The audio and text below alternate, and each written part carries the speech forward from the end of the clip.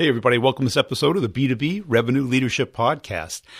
Hey, it's another year, another time to make some more money, and I've got the course for you. Uh, start the conversation, get the meeting will help your team, both business development, sales development, get into those new cold accounts, whether that function is under marketing or sales, I'll help you with that by starting organic, natural conversations, not pitching.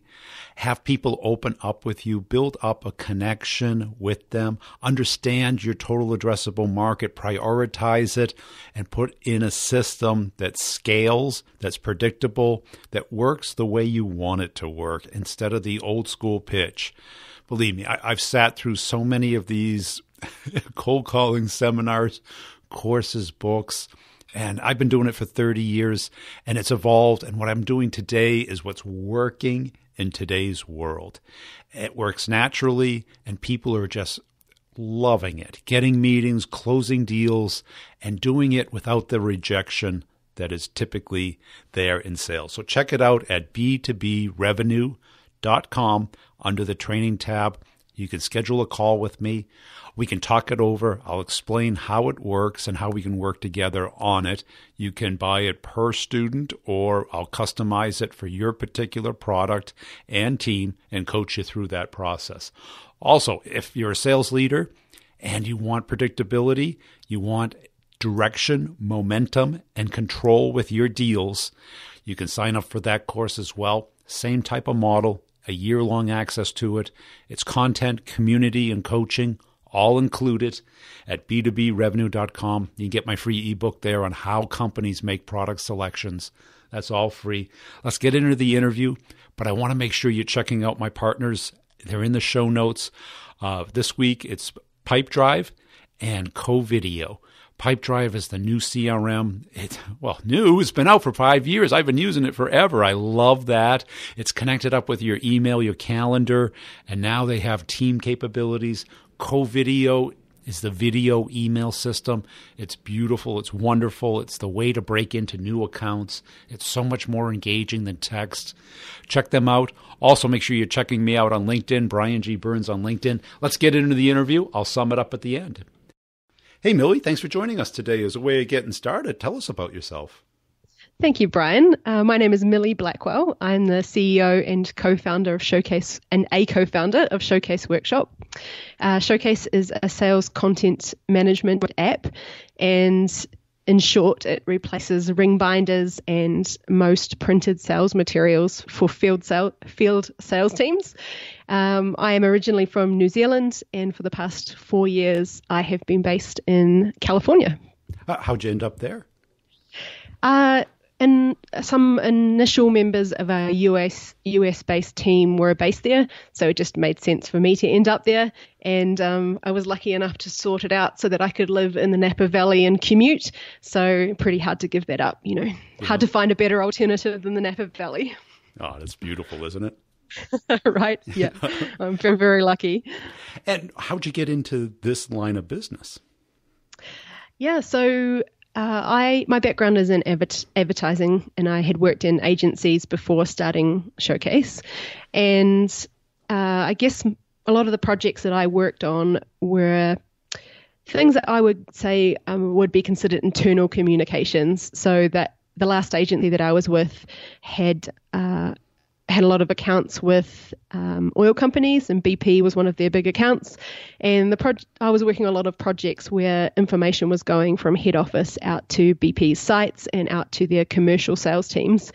And this, this at this point, this was 2010, and iPads were just a brand new gadget in 2010, which, when you say it, it seems kind of recent history, but that's when they came around. And it struck me that BP, especially and, and their contemporaries, were printing and physically distributing a lot of materials out to their sites. And, you know, here in, here in the US, that's thousands of sites, and in most other countries, that's hundreds of sites. And those documents are several hundred pages at a time. So there's the logistics of that, there's the cost of that, and there's the environmental impact of that. And it struck me straight away that wouldn't it be great to replace all of that with an iPad. Send an iPad to the sites and start sending materials out to them. And um, so Showcase came about actually from, I guess, from a rejection. So I had pitched this idea, or myself and my boss at the time had pitched this idea to BP, and back then, um, uh, gas sites or fuel stations still didn't allow you to use your mobile phone on the forecourt or when you were putting gas in the car. So they had an instinctive reaction, which was, well, we probably can't have an iPad in the sites either. And but they but they said, well, this could be a good idea for sending information out to our commercial sales team. So while it was, we were initially rejected on the original idea, um, they the client found the workaround, and that's how Showcase came around. Well, it certainly is a good idea. You're talking to somebody who used to, you know, fill up, um, you know, the briefcase with brochures and drag them onto an airplane. And sometimes I joke that we're saving salespeople's backs from just lugging around yeah. paper folders. yeah. And yeah. that's that's it. I remember the iPad. I, I, was at the Apple store the night it came out, and I was like, when I first saw the iPhone, I was like, why can't they just make this bigger? You know. so Apple owes you a commission. Maybe you had the idea first. so you've had to do a lot of selling in your career, huh? Yeah, and um, and not I was not a salesperson to start with, and selling. There were four co- four co-founders of Showcase, um, two more on the marketing side and two technical founders, and selling ended up falling to me, I guess, because I had the least specific skill area in any other part of the business. Um, so we started the business uh, with a little bit of naivety that we could build it and we would just have a flood of customers because it was such a good idea. But then when we realized that that wasn't going to be true, one of us had to go out and sell and and that person ended up being me. So I um, I guess you'd say that I started selling with a lot of uninformed optimism about how it would work. And um, at that time, we were just selling in New Zealand. And New Zealand is still quite an open market and still uh, marketing managers, for the most part, or senior people inside of organizations, you can still actually call them and have a good chance getting them on the phone when you call. Um, so yeah, I just started calling around. I started with um, Hyundai, a brand called Z, which is uh, or Z, which is um, the retail brand of what was Shell Oil. Uh, I just started with companies like that. I thought this would suit them. I just started calling around. I got some meetings, and that's how we got our first our first clients. So partly from my naivety, um, and obviously partly because it was a great solution for them. Yeah, and I bet you learned a lot through that process, huh?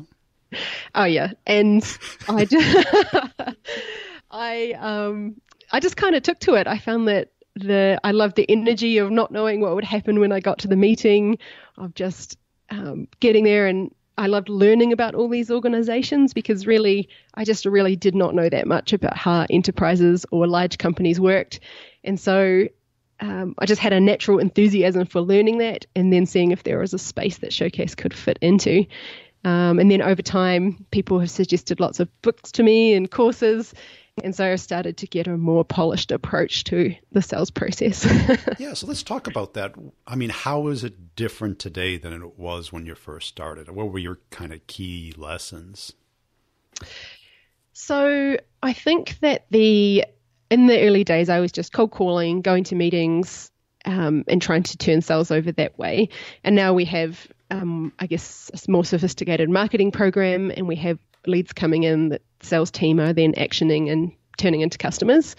Um, but I think the big change has probably been for us more on what on the value proposition and what we are selling. So in the early days, I could I was sort of basically calling up with this idea of, hey, we've got this app and it's for the sales team. Would you want to have a look at it? Um, but now so a lot of the things that were valuable about that, the fact that um, it worked off of line and you could just send things out to the iPads, a lot of that has sort of become less valuable or more commoditized. There's lots of ways that the companies can solve that problem.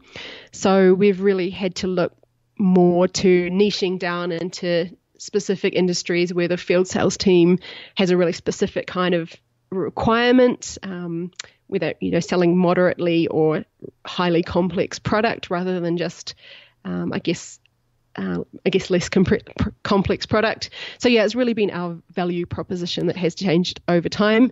And um, not so much uh, in this market in the US, not so much cold calling and expecting to get anybody on the phone.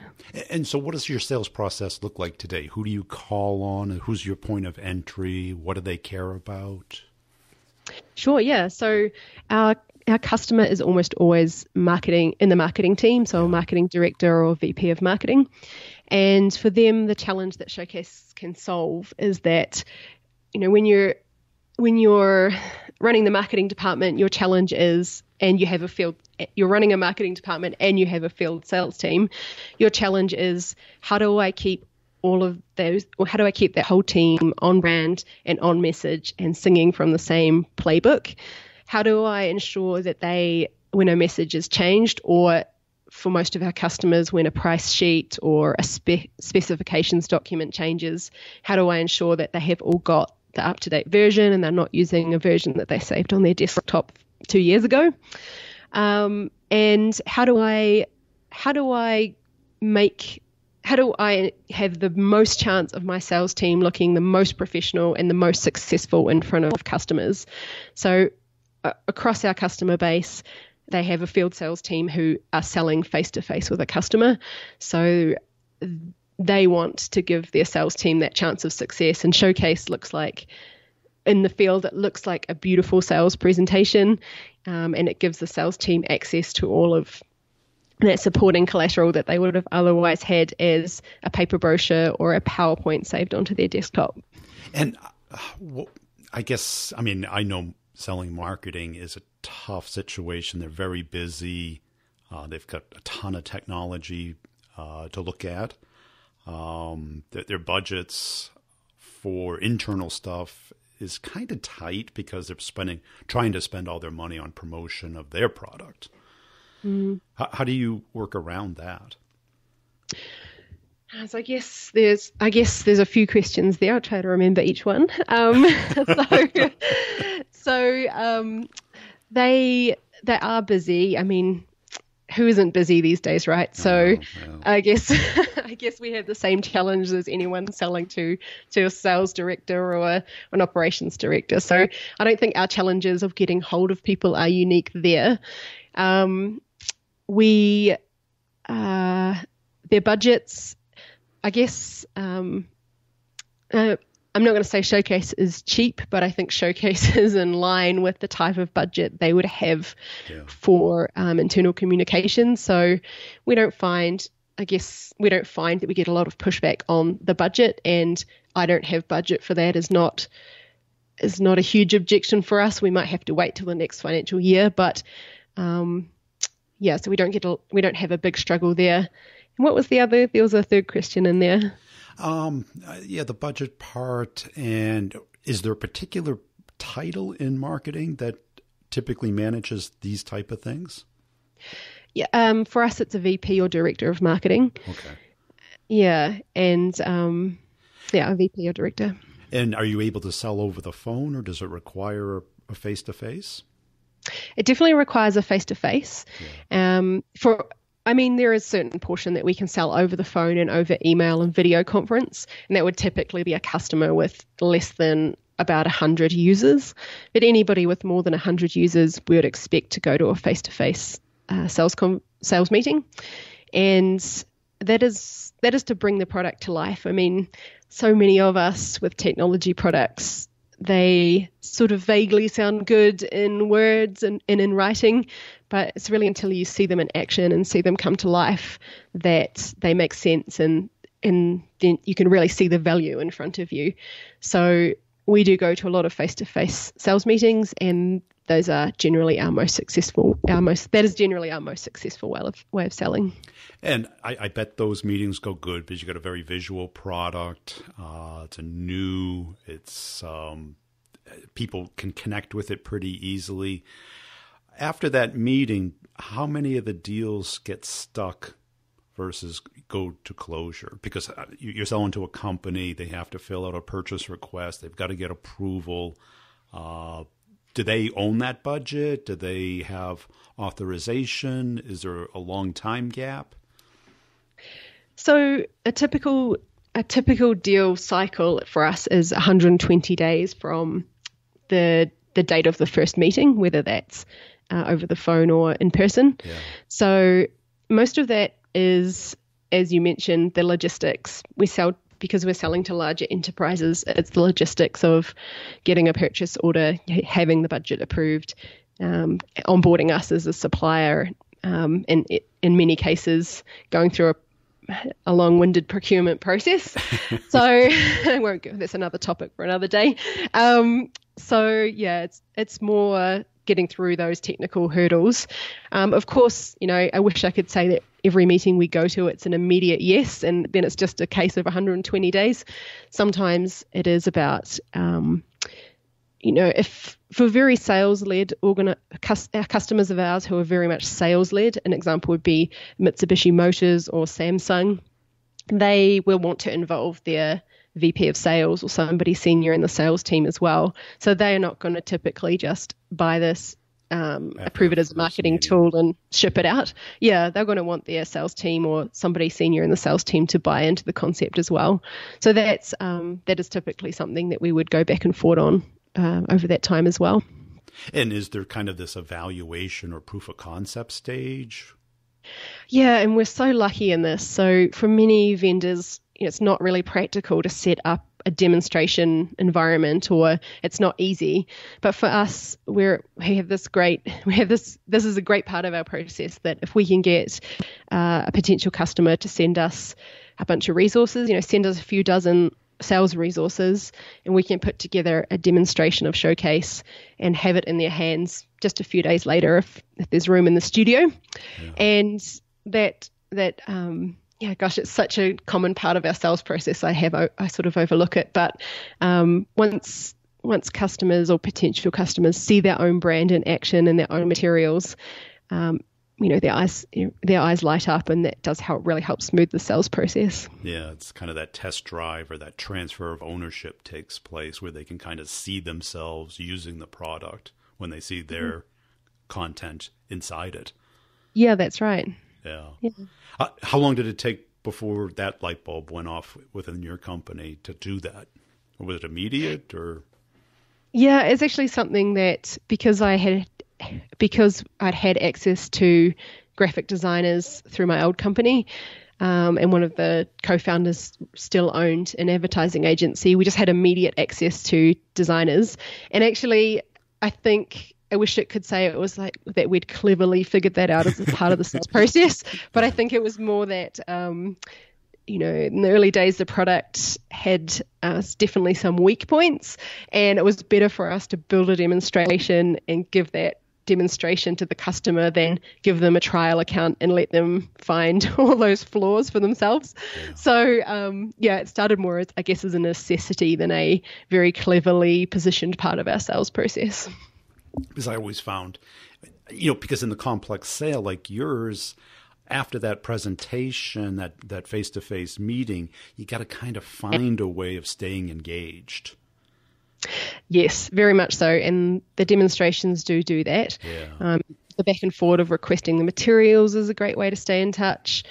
Um, yeah, the, and Showcase itself has very rich analytics engine in the background, and those analytics is definitely a major selling point for our customer because they can see which of the which of the materials that they've sent out are being used, who's using them, what they're sharing. All of this sort of insight is available for our buyer, but at the same time, when we set up a demonstration, we have that same insight into how often the demonstration is being used. Yeah. So, um, yeah, we can reach out based on the level of activity we're seeing there or not seeing in the demonstration. And what else did you do to keep that momentum going? Because you got 128 days, so that's what four months. That's a long time. You probably got a bunch of these going on, and and I bet you always leave feeling that it went great and it's going to happen. Yet, you know, some of them they just stall or slow down or just lose the excitement. Yeah, and I I think over the six years that I've been selling, or seven years, that I've um, I've learned to temper my enthusiasm. of course, I did. Used to leave every meeting thinking it was a sure thing, um, and that is partly you know people you're meeting with don't like to let you down especially when they know it's your own product and you've come with all this passion and enthusiasm for it. But um, i think over the years myself and my team have learned to recognize um, that there's going to be that initial burst of enthusiasm, but there is a long and slower slog to get that from the initial enthusiasm through to a closed deal with a purchase order and an invoice having been generated. So, um, yeah, I mean, I guess I, I, don't have a particular piece of wisdom to share here. It's more been learning over time. Um, some of the things that we can look for to to feel very confident it's got a chance of getting to the next stage is how quickly the person would supply us with materials for a demonstration. Yeah. If that happens inside of the first week, that's a really good sign. Um, I think those are sort of the starts of th- things where we can start to see that it's going to be easier to keep it going. Um, and then there's all of the more obvious signs I think that most of us in sales are familiar with, like being ghosted or just not hearing back at all. yeah. And that's it. I, I have kind of this law called uh, if it's not overtly positive, it's covertly negative. Like, yeah, that like, is so true. Like the ghosting, or you know, when they do come back to you and uh, they meet all their commitments or all their uh, promises, you you get a sense that yeah, they are engaged, they are connecting to the product. Um, were you able to kind of spread out these give and takes over the that first thirty days or so to get that that technical sale where they really wanted the product and got it and connect it to it? Um, I think the way that we have managed I mean, so the way that we have managed to spread it out is to getting that demonstration done, and then the next step for us is to try to prompt uh, some additional users inside the organization. Yeah. So that's the next best thing for us to see is that there's you know a handful or a dozen other users inside the business having been added, and that those people are also actively using the demonstration. Um, I guess I guess those are the two key, the two key points for us is the demo and the addition of users, um, and then hoping that there starts to be a, a, back and forth of question and answer of can I can the customer get into those analytics to have a look. Um, typically, we'll start to get questions about security, um, which means that somebody somebody in the IT team cares about that. yep, wants to know before it's signed off. Um, yeah, and then the magic question about can we connect the billing teams? Okay. How about as far as justifying the cost? Was that easy to do? Was there, you know, I, I, guess the analytics and the contrast between solving the problem another way? Yeah, for a lot of the the big ticket item for a lot of our customers is the trade off for what they're currently printing. So they can look at their print budget and immediately check off a bunch of things that they're not going to have to print anymore. Um, it used to be a little bit balanced out by the organization having to buy devices, but typically now the devices already exist in the company. Yeah. So they are checking off how much they're immediately going to save in print. Uh, for a lot of our buyers, they can immediately check off. This sounds like a small thing, but for the buyer, it's typically quite a person personally quite a big thing or a big thing for the marketing team. So they can check off the the emails 600 times a day that ask for can you send me this can you send me the latest version of the customer presentation? or can you send me the new the latest version of the ah. specifications document? Right? So the sell both the sales and the marketing team um, eliminate a big headache there.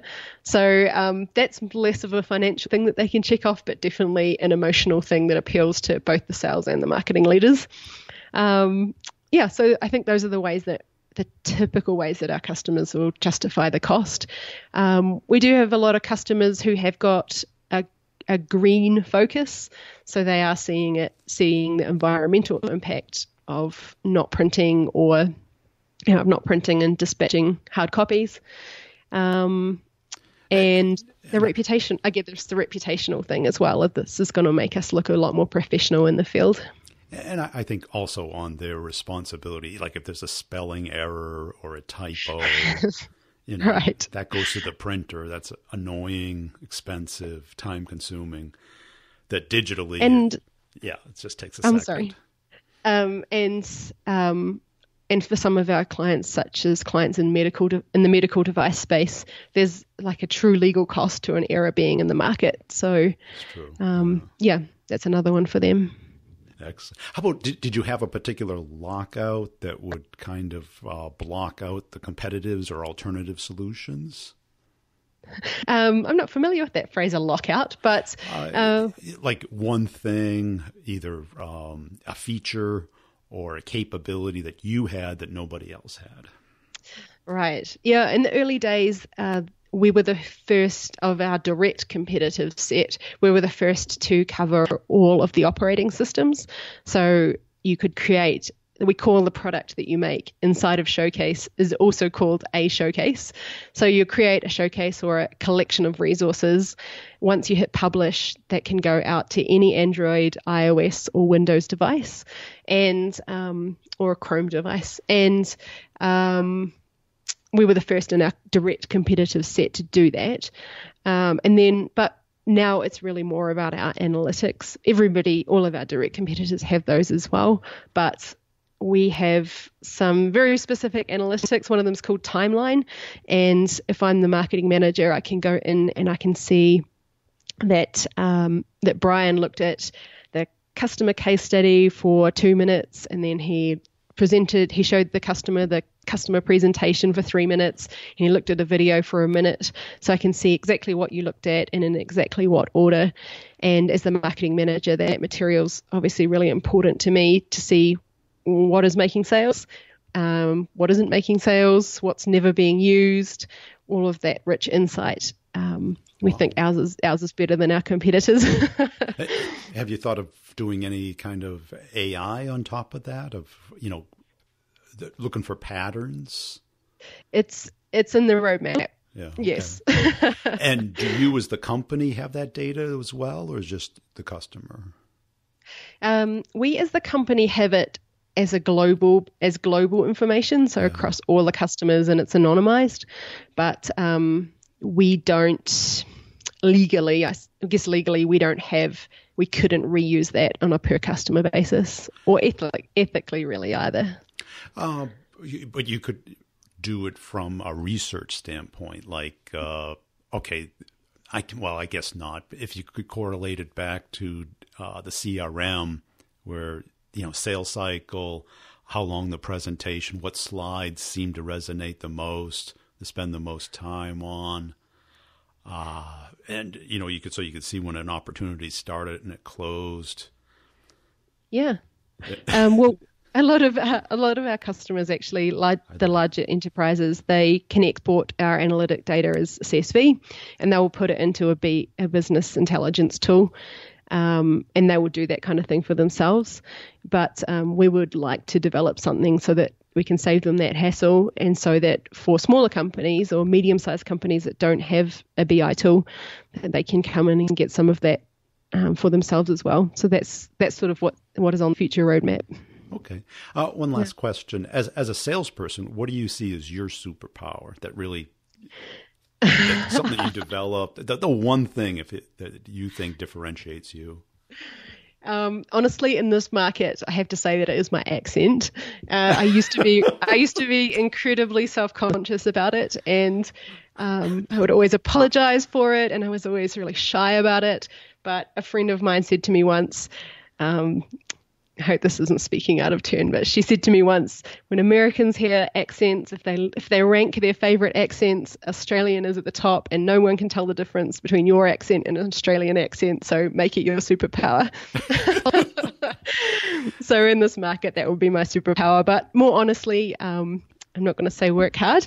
I'm going to say that um, it has been to work to my strengths. I used, again, like the accent, I used to really think I've got to fix all of my weaknesses and concentrate on those. But when I decided instead to improve my strengths, I think that's um, really the thing that helped me the most in sales.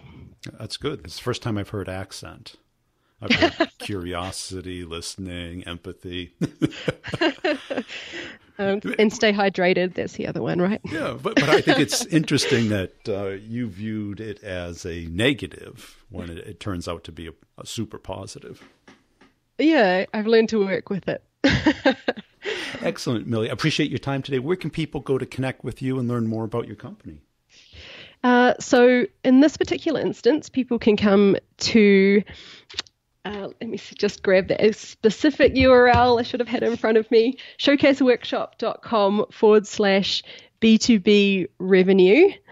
Um, and we've got a we've got a landing page there so they can have um, access to a trial, access to some customer examples.